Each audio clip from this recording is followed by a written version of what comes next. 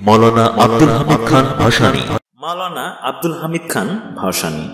যিনি মাওলানা ভাসানী নামেও পরিচিত ছিলেন বিংশ শতাব্দীর ব্রিটিশ ভারতের অন্যতম তৃণমূল রাজনীতিবিদ ও গণ আন্দোলনের নায়ক।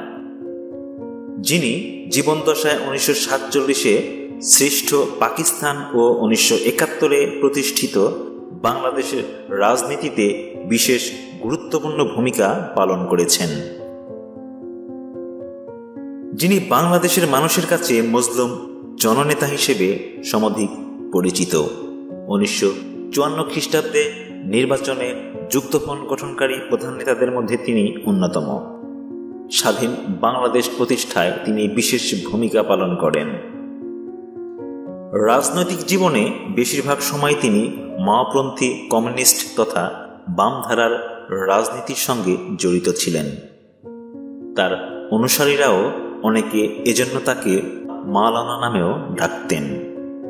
তিনি কৃষকদের জন্য পূর্ব পাকিস্তান কৃষক পার্টি করা জন্য সারা দেশব্যাপী ব্যাপক জনপ্রিয়তা লাভ করেন। তিনি ছিলেন একজন দূরদর্শী নেতা।